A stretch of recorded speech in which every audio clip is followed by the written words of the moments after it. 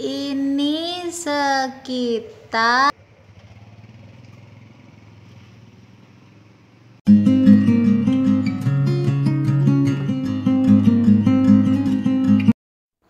Assalamualaikum semua, selamat datang kembali di El Harista Hari ini tepat tanggal 2 Agustus 2024 Gimana kabarnya semua? Semoga semua sehat ya. Sudah mulai masuk musim penghujan. Udah mulai hujannya udah mulai deres. Nah ini buah anggurku teman-teman. Sudah aku panen. Ding dong ding dong ding dong. Panen sebagian. Ini berinya masih kecil-kecil sisanya dan untuk hari ini buat videonya bukan tentang panen ya. Aku mau buat video untuk Mbak Yuli Mbak Yuliana 6079 Nah Mbak Yuliana tanya kalau hitungannya 40 hitungan saat celup GA3 apa ndak kosong? Sementara di yang lain itu kan 20 hitungan saja. Nah, kita hari ini mau buat video itu ya teman-teman. Oke, buat yang baru gabung, kenalin dulu ini tanaman anggur Jupiter yang aku tanam di tanah. Aku buat rambatan di pagar dengan sistem teralis. Ini pembuahan yang sudah entah kesekian kalinya. Ada mungkin 9 atau 10 10 kali eh, fase pembuahan dengan sistem potes pucuk dan ini teman-teman sekarang aku mau buat video yang berkaitan dengan pemakaian GA3 ya teman-teman. Tuh atapku kotor sekali karena kena semprotan air cucian beras untuk tanaman anggur ninelku dulu yang di sini semprotannya nyangkut di situ masih wis abaikan itu teman-teman jadi gini ya, aku ulang lagi ya videoku sekarang untuk Mbak Yuliana yang berkaitan dengan pemakaian GA3 teman-teman. Aku pakai GA3 Gip Grow. Semua tanaman anggurku itu uh, bukan semua tanaman anggur, semua buah anggur Jupiterku kebetulan aku punyanya memang anggur Jupiter ya teman-teman itu aku pakaikan dengan GA3 merek Gip Grow dan aku mencelupnya selama 40 hitungan. Karena dari awal seperti itu jadi sekarang aku mau kasih lihat teman-teman kosong ndak ya? Tanam uh, buah anggurnya kalau sekiranya dicelup segitu lamanya itu loh. Berendam 40 hitungan di GA3 itu kosong ndak? Nah ini teman-teman buktinya teman-teman bisa lihat buat Mbak Yuliana Mbak Yuliana apa bunda apa kakak ya aku panggilnya ya? Aku panggil mbak aja ya. Maaf ya mbak ya. Kalau misal aku ndak sopan sebelumnya aku minta maaf ya. Aku uh, uh, mungkin agak nggak sopan tak panggil mbak. Apa pok tapi aku aku aku minta maaf aja dulu. Tak panggil mbak aja ya biar enak ya jadi teman-teman uh, aku kan biasa memakai GA3 Gip Grow itu GA3 Gip Grow 10 SP itu untuk fasenya aku memakai di empat fase. Ini contoh untuk fase 1 ini untuk fase 2 sudah agak memanjang tangkainya. Ini fase 3 sudah very set. Dan ini fase keempat ukuran buah agak besar jadi aku memakai di empat fase itu teman-teman dengan dosis yang sama untuk cara pengukurannya teman-teman bisa cari di videoku sebelumnya. Nanti aku sertakan di deskripsi juga ya. Terus aku memak uh, mencelupnya itu uh, lebih melihat perkembangan bunga teman-teman. Jadi 2-3 hari setelah pencelupan terakhir itu harus dipantau. Nanti sekiranya sudah masuk di fase-fase seperti tadi dicelup 40 hitungan. Dan apakah ada yang gosong? Nah akan kita lihat hari ini ya teman-teman ya ada yang gosong apa enggak. Jadi kalau misal teman-teman memberinya dengan cara menakar uh, dosis GA3 yang pas, lalu pemberian air, air yang dipakai itu airnya benar, terus sekiranya fasenya itu benar, insya Allah teman-teman, teman-teman bisa lihat semua tanaman uh, buah anggurku ini baik-baik saja, tidak ada yang parah-parah amat gitu. Kalau ada itu di awal-awal dulu dan kebetulan untuk varian yang berbeda. Untuk varian Julian pas itu tapi untuk Jupiternya ada mungkin 0, berapa persen gitu aja karena itu hanya aku temukan sekitar 2-3 dompol di awal dulu untuk yang seterusnya dengan pemakaian yang tepat seperti yang aku bilang tadi alhamdulillah aman-aman saja. Tapi kalau untuk yang pasnya bagaimana? Ayo kita lihat lebih dekat biar teman-teman tahu ya jadi ini adalah bunga-bunga yang terakhir aku pakai contoh untuk pencelupan GA3 yang yang kemarin itu. Video yang video panjang yang terbaru untuk fase 3 dan 4 ini adalah buahnya karena dia sudah beberapa hari dari video terakhir jadi dia sudah agak membesar ya teman-teman. Dan tadi di awal juga aku sudah kasih lihat buah-buah buah-buahnya sebagian yang sudah merah sudah aku panen ini bunga-bunga yang kemarin aku celup dengan GA3 dengan dosis yang sama. Dan hampir semua buah yang bahkan yang sudah aku panen di video ini dan video-video sebelumnya semuanya aku perlakukan dengan cara yang sama. Tuh lihat kayak gini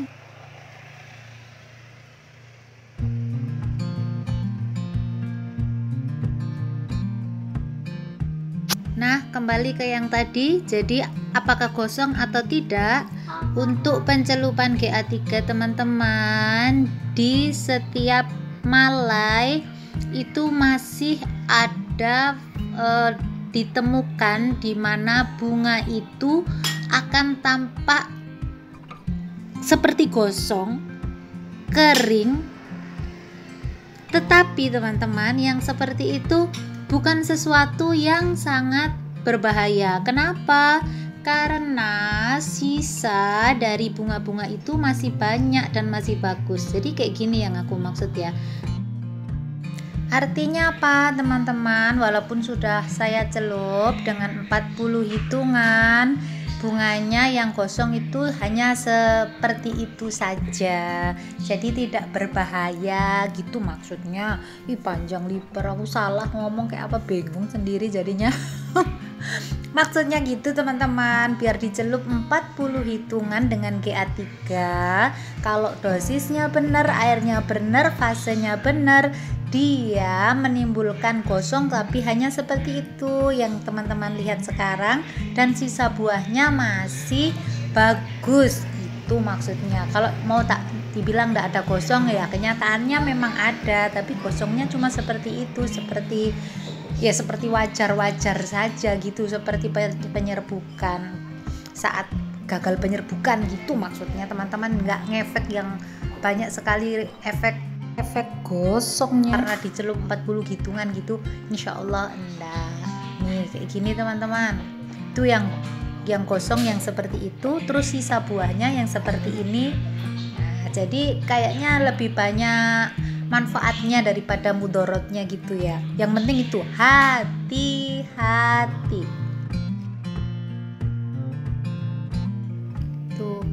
cantik kan? Masih banyak sekali dan jarak antar buahnya cukup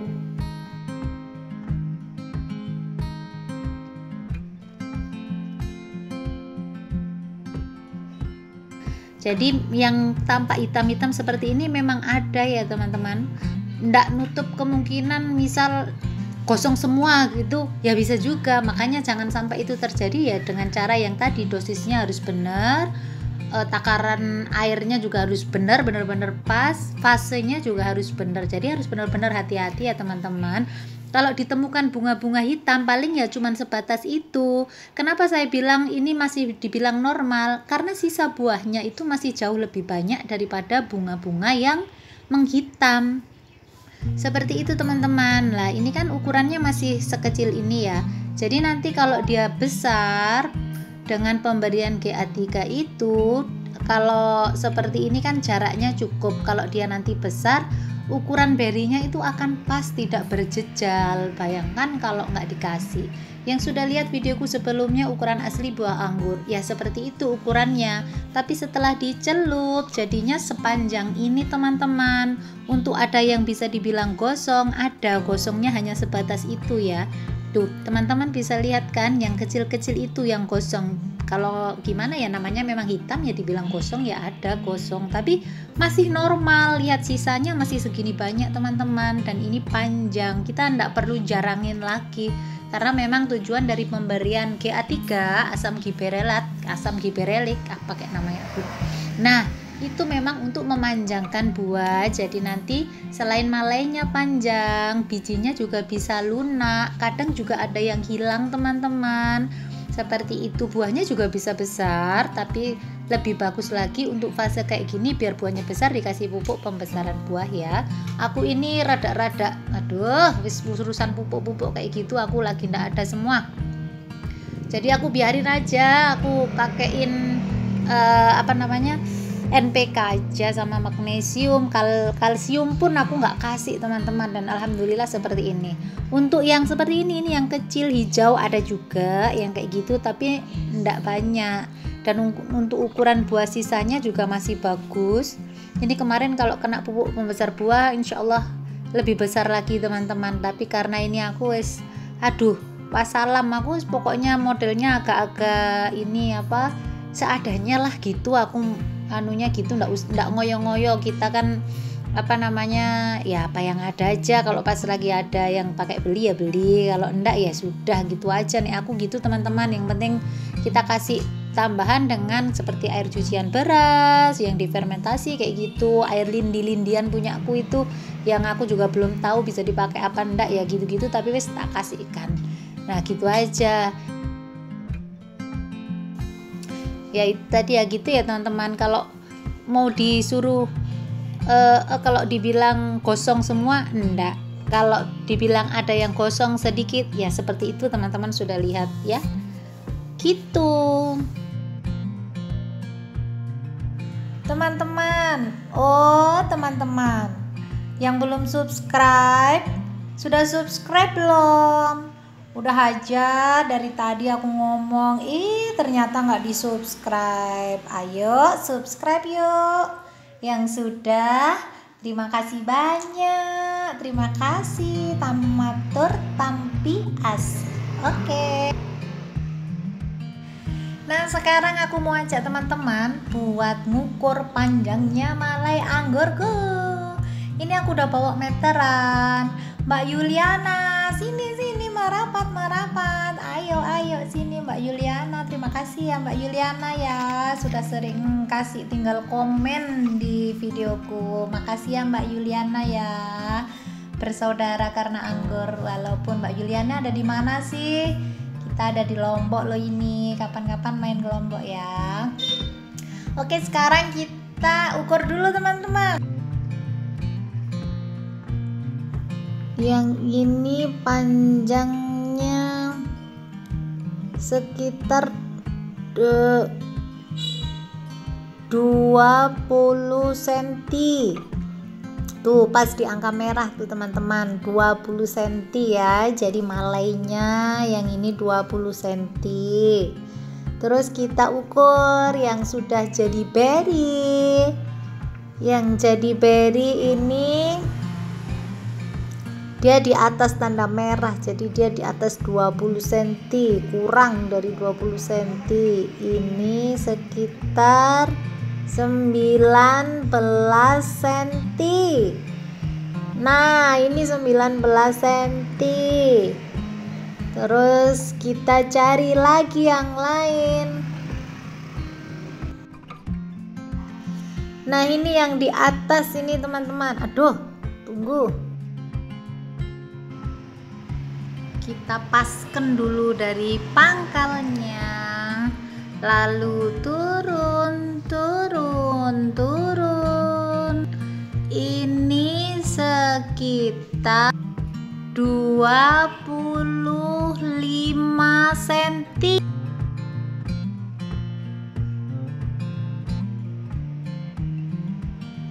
lalu kita cari lagi yang atasnya sebelahnya. Kita ukur juga ya ini agak pendek. Yang tadi 25an yang ini.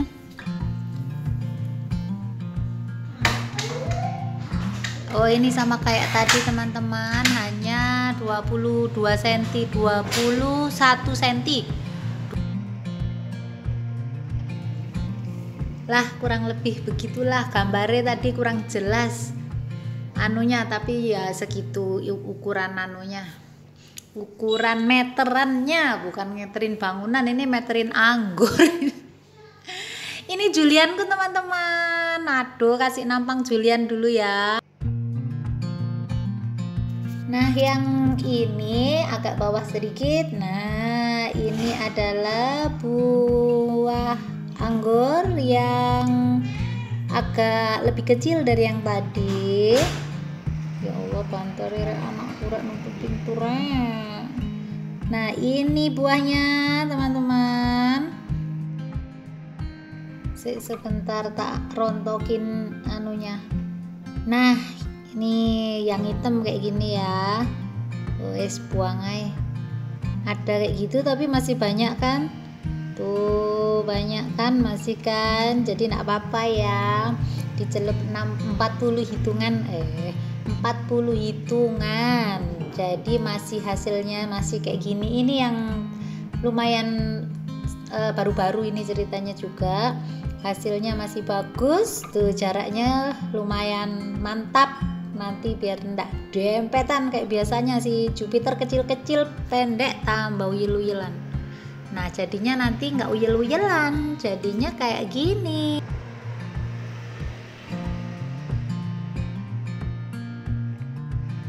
Jadi kurang lebih kayak gitu ya teman-teman. Mbak Yuliana Mbak Yuliana aku nih ngomongnya agak ceplas-ceplos jangan takut ya. Aku ngomongnya agak cepet tapi aku ndak marah. Emang modelku kayak gini Mbak Yuliana. Terima kasih. Semoga Mbak Yuliana uh, ngerti ya. Terus semoga Mbak Yuliana nanti tambah suka lagi lihat sama channelku ini. Terima kasih ya Mbak Yuliana sudah selalu nonton ya oke okay, teman-teman uh, saya rasa sudah segitu dulu ya. Semoga yang barusan ini uh, semuanya juga bisa memahami. Sampai ketemu lagi, eh sampai ketemu lagi belum kayak saya minta maaf kalau ada salah-salah kata ya teman-teman. Jangan lupa subscribe, komen, like, share. Yang sudah terima kasih, yang belum lagi-lagi monggo, ayo ayo. Sampai ketemu lagi di video selanjutnya. Assalamualaikum. Dadah.